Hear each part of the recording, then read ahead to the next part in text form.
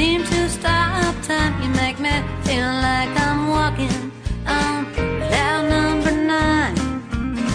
You make the raindrops.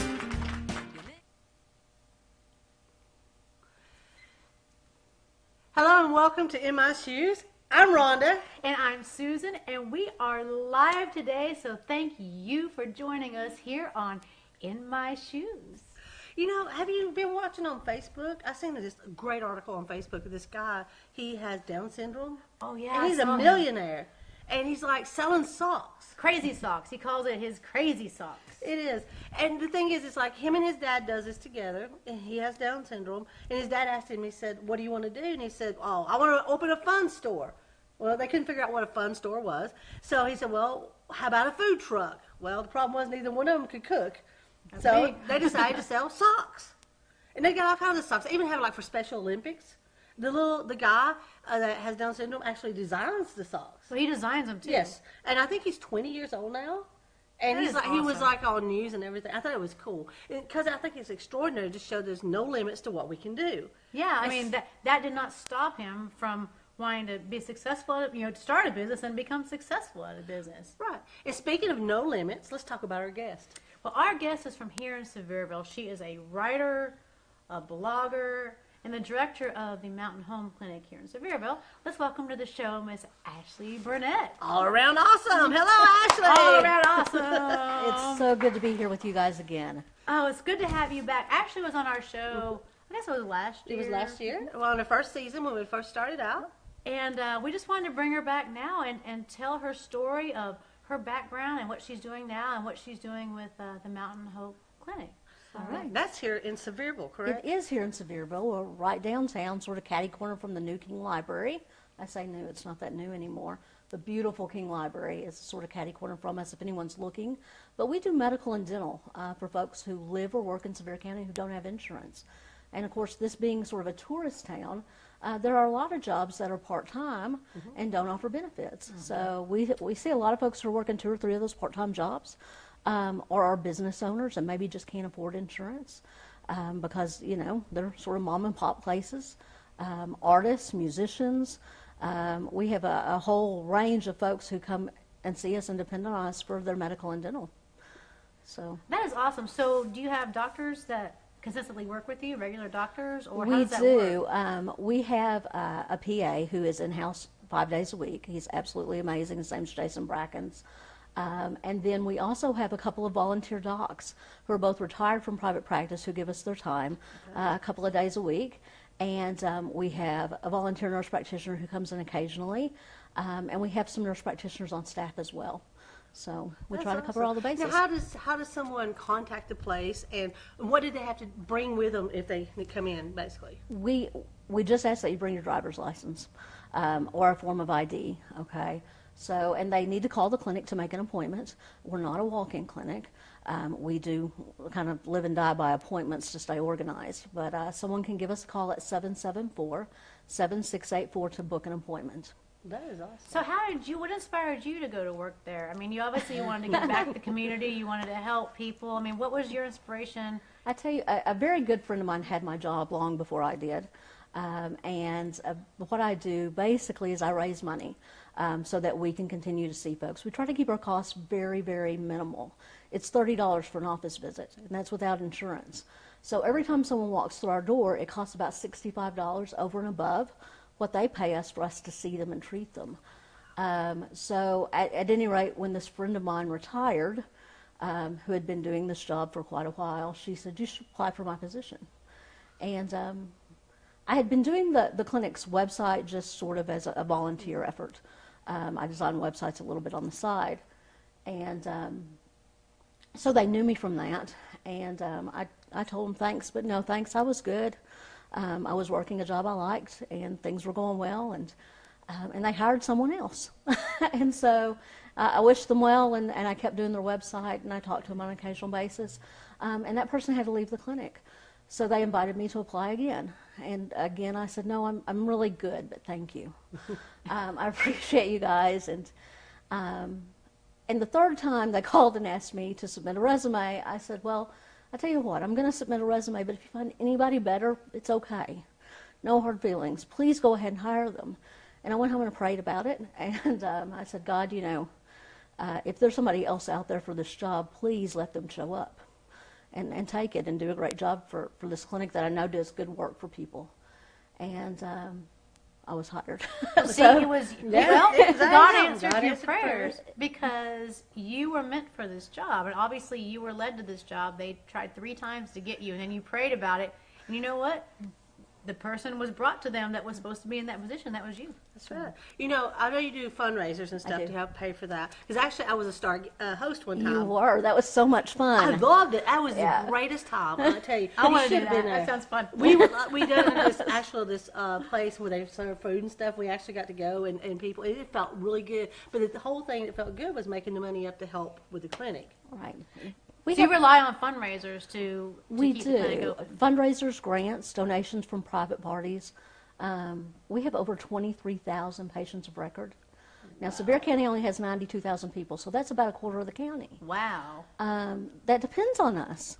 Um, so if you if you talk about all those people making up that $65 deficit that I talked about, um, you know, there, there's a lot of ground to cover there, and we couldn't do it without fundraisers. We couldn't Right, do it without right. those private donations and grants. So. Well, guys, really give donations. Even even a dollar helps. Five dollars. I mean, what would it hurt? Five dollars a month uh, to donate to help someone else be healthy.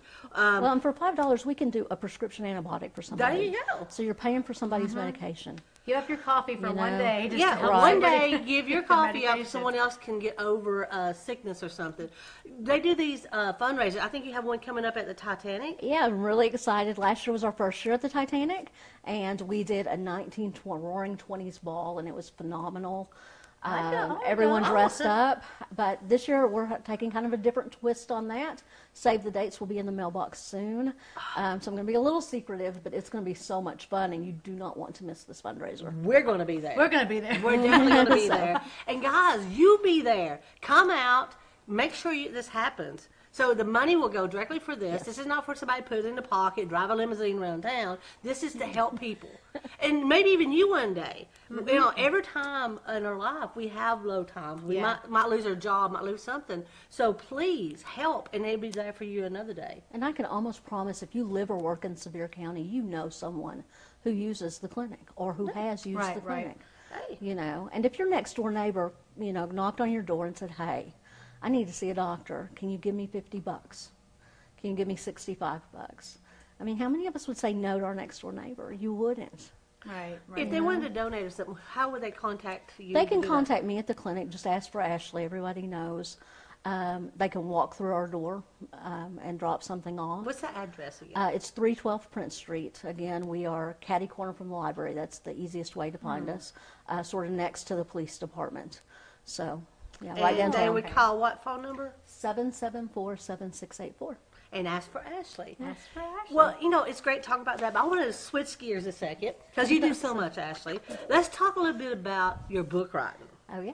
So I, you know, I've written a few books as a ghostwriter, and that's been fun. Um, and I am working on a book with uh, a co-author right now, which will give me a writer credit too, which is also kind of exciting. Yeah. Um, we'd hoped to have it finished by the end of 2017, but that did not happen. You guys know life gets in the way sometimes, um, and we both have other careers. So, uh, but it's coming together nicely, and uh, we're really looking forward to putting it out there.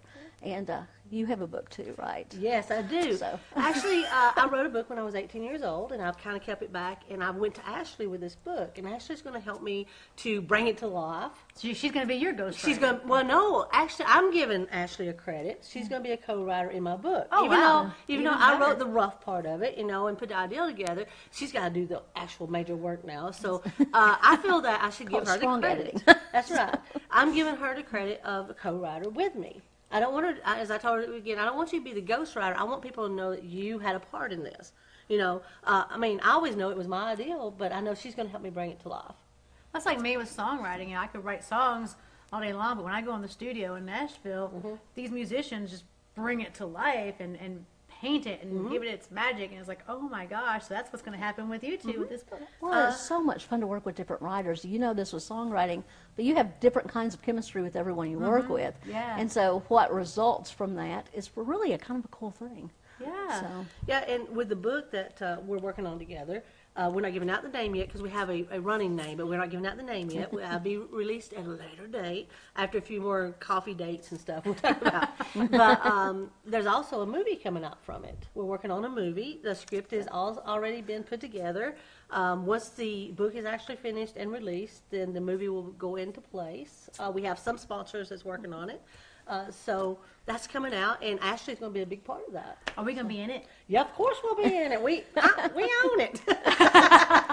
for a book. That's right. My book, my script. Uh, you also do blogging, I believe. I do. Um, been blogging for a while, and I, um, I, I write about the people and places around me that I love. Um, I also write about you know events that strike me sometimes. Um, I was reading through my blog the other day, and I'd written a a letter to my kids about the Orlando shooting that happened a while back.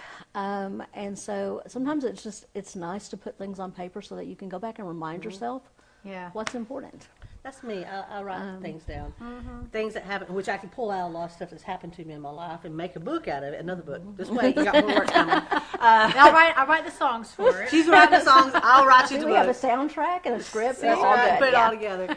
But um, I, I do write all that stuff down. What if someone wanted to get in contact with you to do a book, or even talk about the ideal of a book? What, who, how Um, do they contact you? they are more than welcome to give me a call um, or Facebook me, um, and you guys can put my Facebook address up, I'm sure. Um, Ashley Burnett, right? Ashley, Ashley Burnett. Burnett on Facebook. Um, That's all you have to type in, Ashley Burnett. Yeah, you'll find me, Sevierville. Um, or they can go to my blog, which is Rainy Days and Coffee, Rainy days and coffee. Rainy Yes. Days and coffee. I and like uh, they can contact me through the blog as well. All right. Well, we really appreciate you coming on the show today. We really do. We hope to have you back soon. And definitely be back once the book comes out that we're doing That- together. that's gonna be fun, That's going to be great. We got to work on the cover and everything. But thank you all for watching In My Shoes. And uh, we've really had a great day, and we're glad to be live. We want to thank our caterer today, which is Little Black Bear uh, Cafe. Oh yeah, Little Black Bear Cafe Yes, is yummy. So don't forget to join us next time for In My Shoes and climb that mountain and find that sunshine behind the clouds. Bye. Oh,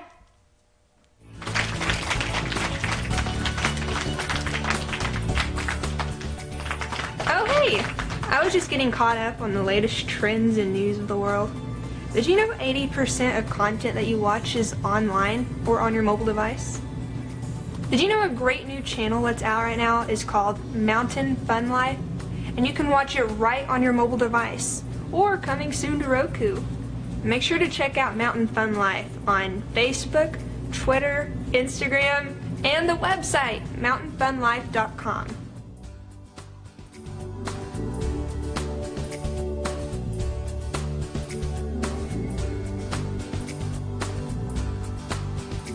Hello, did you know that most of the stuff shot on Mountain Fun Life is shot right here in this very studio?